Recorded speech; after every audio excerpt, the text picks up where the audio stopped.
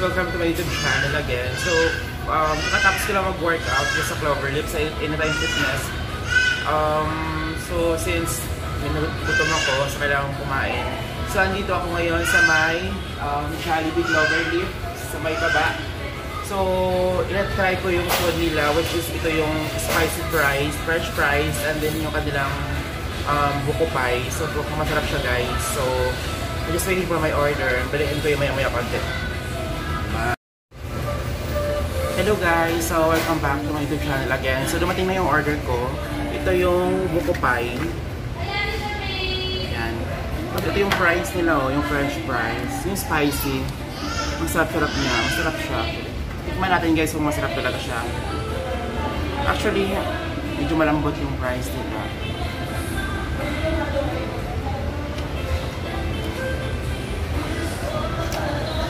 Anghang. Maanghang siya.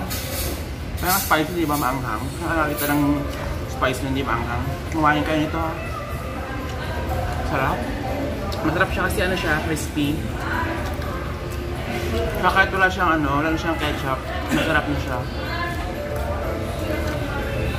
Mmm, sarap po. Kumain kayo nito guys.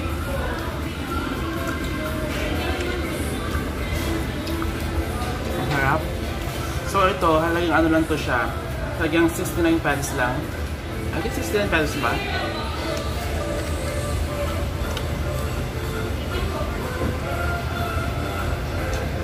Ah, hindi pala kasi na-print ko pala yung order.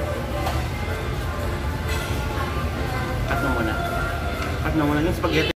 Matapos na, ay, bloopers. Natapos ko lang tikman yung kanilang french fries, yung spicy french fries nila. Medyo maanghang siya. Medyo talagang yung anghang yung pumapasok sa dibdib ko. Since diet ako ngayon, ito lang yung kakainin ko. Next ko na natikman is yung buko pie. Kapatid siya ng tinapay. Buko pie. Yan ang buko pie. Sarap. Ang, actually, ang ganda ng packaging nila ngayon. Ano? Talagang, ano, pinag-isipan talaga. Tsaka, ang maganda nito, mainit pa siya. Yan o, mainit pa. Mas mainit pa kasi sa relasyon namin eh. Yan, o. Tikman natin guys ha. Ganito lang siya kaliit. Ayun no, yun yung laman niya. So, tingnan natin yung ano, lasa.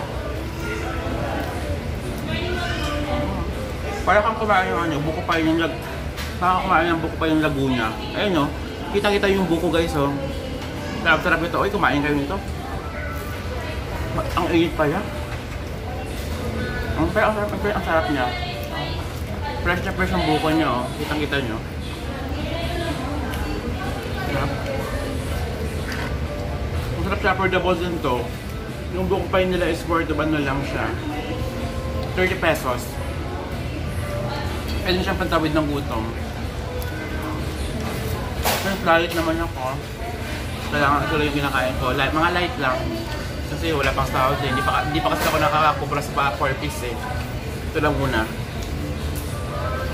So, alam guys, try nyo yung ano nila, yung bago nilang products na Jollibee. So, hindi ako endorse sa Jollibee ha. Talagang tinry ko lang. Ito ko lang itry.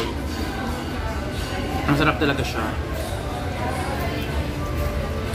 So, sana guys, nagutom at nag-enjoy kayo sa video na to. So, don't forget to subscribe to my channel, like and share. And then click na rin yung notification bell for more updates sa mga videos ko. So, bye for now guys. Bye-bye!